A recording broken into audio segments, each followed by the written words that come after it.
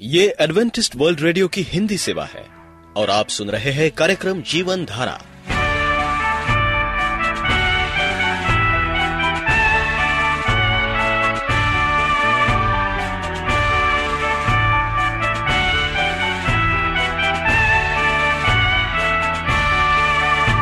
कार्यक्रम जीवन धारा सुनने वालों को मैं स्मिता और मैं अमित हमारा प्यार भरा नमस्कार। एडवेंटिस्ट वर्ल्ड रेडियो की हिंदी सेवा में हम आपका स्वागत करते हैं। श्रोताओं, आइए, आज प्रसारित होने वाले कार्यक्रमों की जानकारी दे दें। आज होगी पहले स्वास्थ्य चर्चा, इसके बाद एक गीत होगा और फिर कार्यक्रम के अंत में पवित्र बाइबल का संदेश। तो चलिए, स्वास्थ्य चर्चा सुनने से पहले सुनते हैं ये गीत।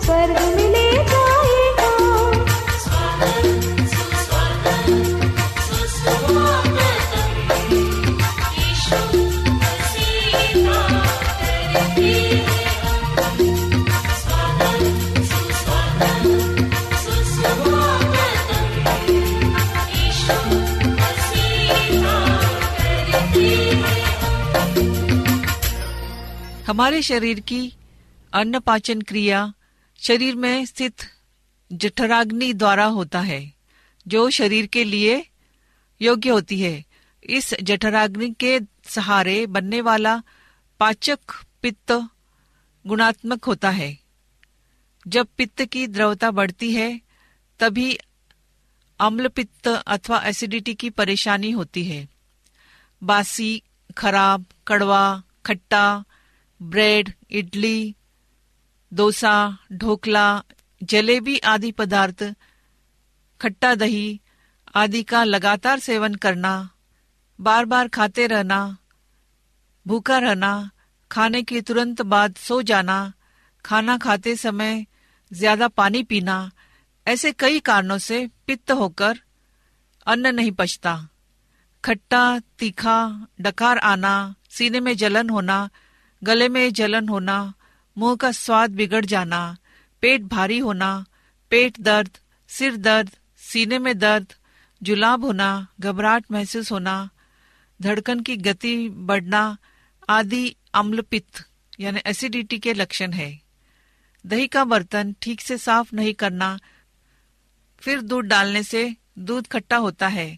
इसी प्रकार इस बीमारी में सादा खाना खाने के बावजूद भी जलन होती है, जिससे आम्लपित्त एसिडिटी होता है। कुछ लोगों को उल्टी आने के बाद राहत महसूस होती है। इसी को आम बोली में पित्त गिराना कहते हैं।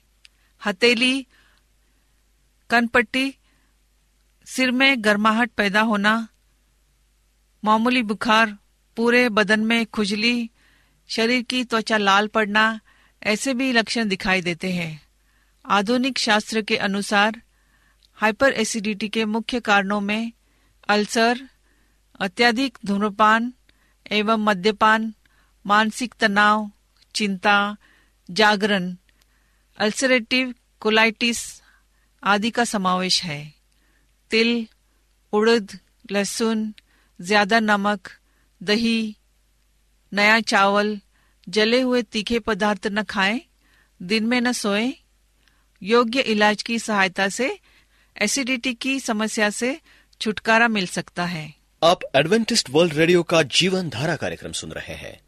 यदि आप पत्राचार द्वारा यीशु के जीवन और उनकी शिक्षाओं पर या फिर स्वास्थ्य विषय पर अध्ययन करना चाहते हैं तो आप हमें इस पते पर लिख सकते हैं। हमारा पता है वॉइस ऑफ़ प्रोफेसी ग्यारह हेली रोड नई दिल्ली एक एक शून्य शून्य शून्य एक इंडिया।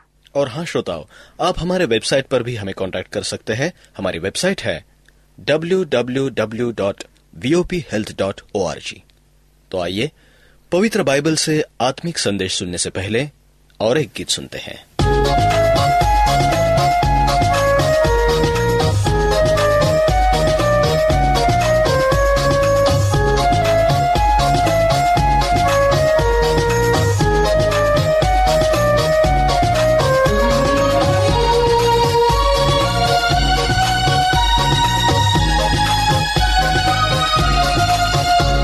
न सोना, न चांदी से मिली आज़ादी, न दुनिया के दौलत से मिली नजात। का खून मेरी आखिरी चट्टान है और मुझे की मौत तुझे देती शिफा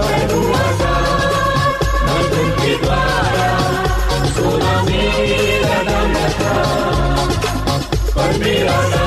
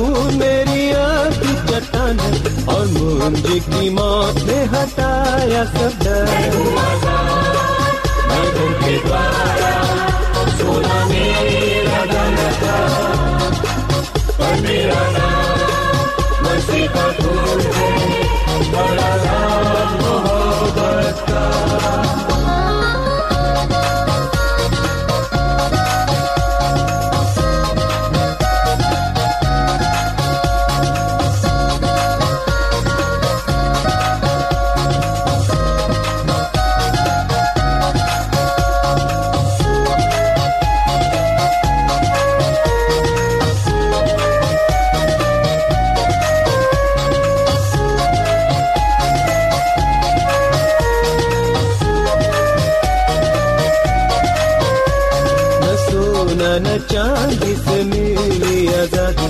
आसमान इसके ज़रिए न मिल सकता था।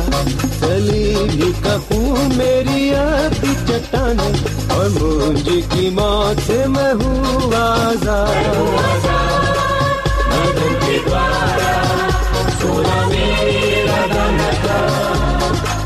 पर मेरा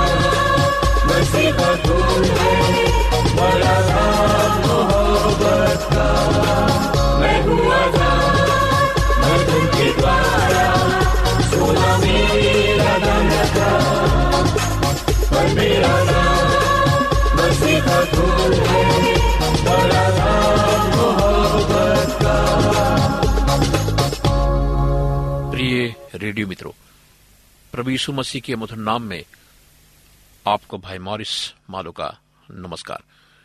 प्रिय रेडियो मित्रों, हमारे जीवन में दैनिक अनुशासन का बड़ा महत्व है। इस प्रकार का संवाद जो संपूर्ण जीवन का चित्रण करता है, उसे महत्वपूर्ण बनाने के लिए अवश्य है कि व्यक्तिगत मनन, प्रार्थना में, पास्टर या अगुओं को परमेश्वर से अकेले बातचीत करने के लिए प्रतिदिन कुछ समय अलग करके रखने की आवश्यकता है। इसका अर्थ है कि ये नहीं है कि दूसरे समूह का महत्व नहीं है या कम है। परमेश्वर की इच्छा में प्रत्येक पल अनंतकालीन महत्व से परिपूर्ण है। परंतु परमेश्वर के निकटता का ये लगातार बना रहने वाला एहसास प्रतिदिन की आराधना है। जिस प्रकार से इस मुलाकात को बनाकर रखा जाता है कि वो आत्मिक जीवन का सर्वोत्तम संकेत है। जब छात्र व्यक्तिगत समस्याओं को लेकर उनके व्यक्तिगत मसीही अनुभवों के संदर्भ में मेरे पास आते हैं, जैसा वे अक्सर किया करते हैं मैं सबसे पहले ये प्रश्न पूछता हूँ कि वे प्रार्थना का समय कैसे व्यतीत करते हैं? यदि इस विषय पर वे अपराजय हैं तो संभावना यह है कि शिष्टता की अन्य क्षेत्रों में भी बेहतर कार्य कर रहे हैं। किंतु यदि वे इस विषय में असावधान हैं तो संभवतः अन्य विषयों में भी असफल हो रहे हैं। यह मसला समय का नहीं पर प्राथमिकता का है।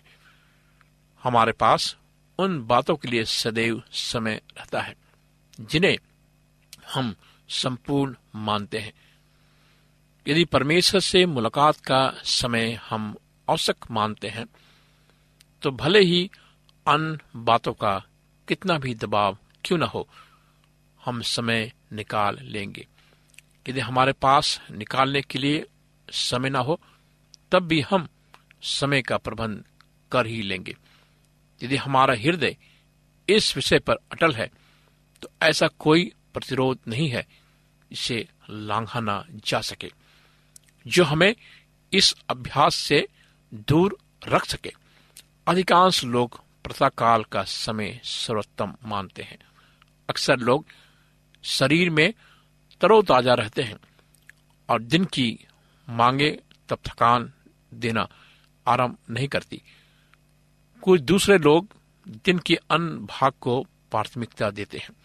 काम के बीच में कोई खाली घंटा, समय शाम का समय या फिर रात में सोने से पूर्व का समय, विकल्प ये भी है, दिन भर में अलग अलग समय पर दो या तीन बार प्रार्थना के सत्र तय कर लिए जाए। यदि प्रार्थना का समय या विचार करें नए पास्टर या अगुओं के लिए तीस मिनट का समय पर्याप्त लगता है। जबकि वर्षों से इस मार्ग पर चलने वालों को घंटों का समय भी कम लगता है। बेहतर होगा कि प्रत्येक व्यक्ति अपने लिए स्वयं तय करे। मुख्य बात, समय का माप नहीं है, पर परम प्रधान से मुलाकात करने की गहरी समझ है। प्रार्थना में गुणवत्ता सदैव मात्रा से बेहतर होती है। स्वर्ग के राजा के समक्ष उतावली न करने वाले ये श्रोतागण जब इस पराय संसार के शोरगुल से दूर रहते हैं, तब आत्मा अपने मूल तत्व में होती है। इसमें वास्तविकता है। हम यीशु की उपस्थिति में विश्राम कर सकते हैं। उस पर अपनी सारी चिंताओं, चिंताएँ डालकर, ये जानकर कि वो हमारी आवश्यकताओं को समझता है। उनकी पूर्ति करने के योग है। वो सब जो उसकी पवित्रता में प्रतिरोधी है, अंगीकार किया जाता है। दूर कर दिया जाता है। तब परिशुद्ध दर्शन के साथ जीवन के पहलियों के टुकड़े अधिक आसानी से जोड़े जाते हैं।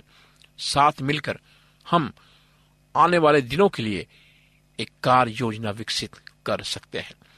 यहाँ भी हम अपने सर्वोच्च याजकपन में प्रवेश करते हैं, जिनके लिए मसीह ने प्राण दिए, उनके स्थान में मध्यस्थता करते हैं। इन सब के बीच उसकी प्रशंसा गूंजती है, जो योग है। अंत में इसके समक्ष हर घुटना टिकेगा। प्रार्थना के कालखंड। प्रार्थना और मरण के लिए प्रतिदिन कुछ समय नियुक्त करने के अतिरिक्त कभी कभी अवसर के अनुरूप आप प्रार्थना के लंबे कालखंड भी व्यतीत कर सकते हैं। ये लंबे कालखंड वर्ष के किसी विशेष पर्व या समय के साथ जोड़े जा सकते हैं।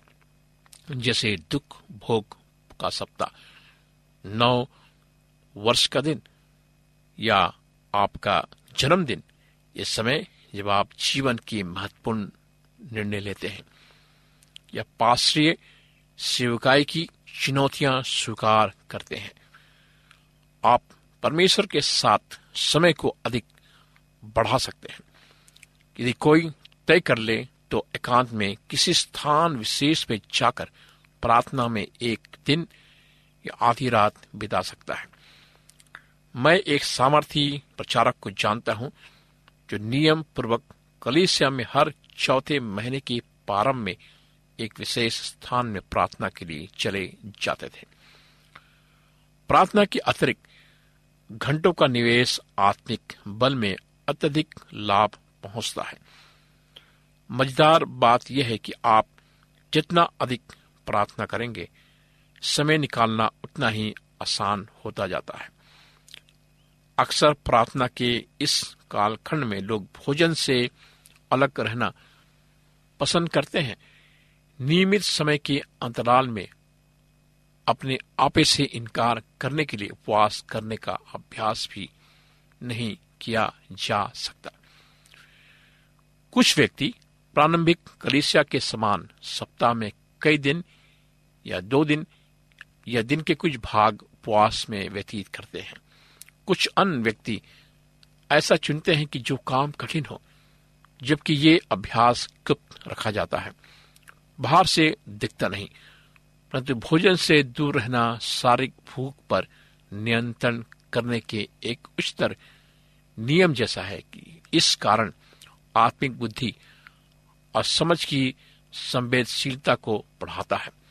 प्रार्थना के लिए अधिक समय प्राप्त करने का ये व्यवहारिक तरीका है। मेरे मित्रों, हमें अपने जीवन को, परमेश्वर को सौंपना है, ताकि वो हमें प्रार्थना सिखा सके। आइए हम प्रार्थना करें। महाजीवित पिता परमेश्वर, हम आज तेरे पास आते हैं प्रभु। तेरी प्रशंसा करते हैं। अपने घुटने को तेरे चरणों में लाते हैं परमेश्वर तो हमारे जीवन को संभाल और हमें आशीष दे। इस प्रार्थना को प्रभु यीशु मसीह के नाम से मांगते हैं। आमीन। मित्रों, आप हमें इस नंबर पर भी संपर्क कर सकते हैं। हमारा नंबर है नौ छ आठ नौ दो तीन एक सात। शून्य दो। नौ छ आठ नौ दो तीन एक सात। शून्य दो। हमारा ईमेल एड्रेस है Morris A W R at G mail dot com Morris M O double R I S A W R at G mail dot com हमें आपके पत्रों का इंतज़ार है। परमेश्वर आपको आशीष दे।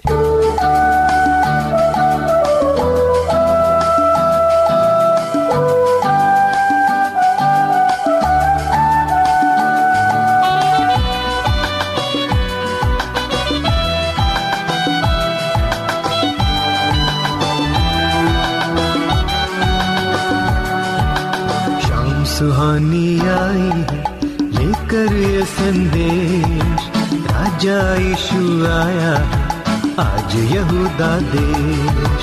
शाम सुहानी आई है, लेकर ये संदेश। राजा यीशु आया है, आज यहूदा देश।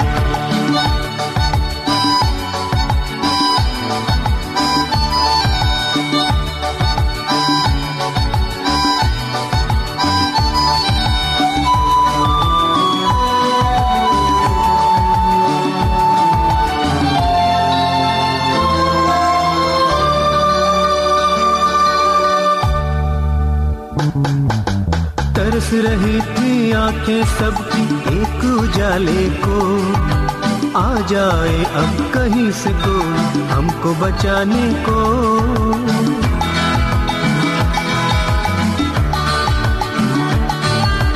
तरस रही थी आँखें सबकी एक उजाले को। आ जाए अब कहीं से कोई हमको बचाने को। के अपनी शान बान और तोड़ने हर बंधेज। राजा यीशु आया है, आज यहूदा देश। शाम सुहानी आई है, लेकर ये संदेश। राजा यीशु आया है, आज यहूदा देश।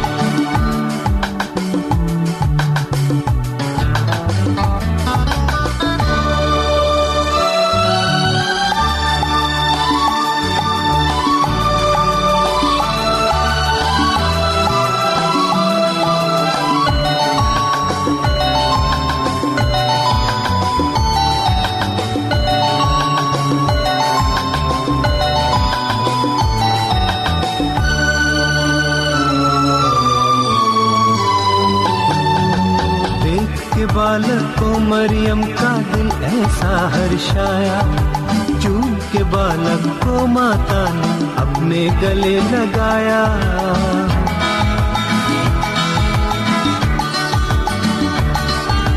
देख के बालक को मरियम का दिल ऐसा हर्षाया चूम के बालक को माता ने अपने गले लगाया।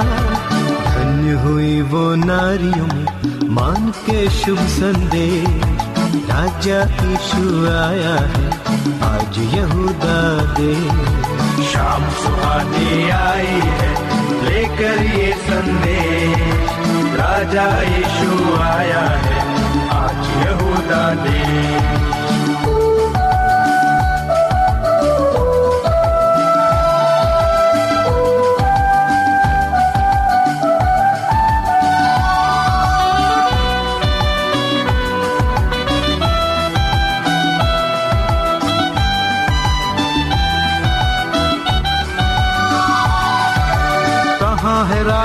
इस दुनिया का पूछने हम आए। हम है मजूसी देख के तारे के पीछे आए।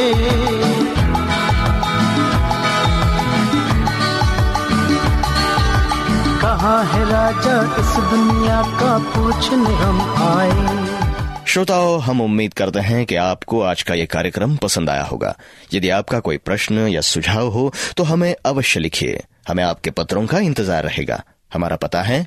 कार्यक्रम Jeevan Dhara Adventist world radio post box सत्रह पुणे चार एक एक शून्य शून्य एक महाराष्ट्र इंडिया। पता एक बार फिर नोट कर ले। कार्यक्रम Jeevan Dhara Adventist world radio post box सत्रह पुणे चार एक एक शून्य शून्य एक महाराष्ट्र इंडिया। और अब हमारा समय यहीं पर समाप्त होता है। इसी समय इसी मीटर बैंड पर आपसे फिर भेंट होगी। तब तक के लिए मैं स्मिता और मैं अमित हमें आज्ञा दीजिए। प्रभु आपको आशीष दे।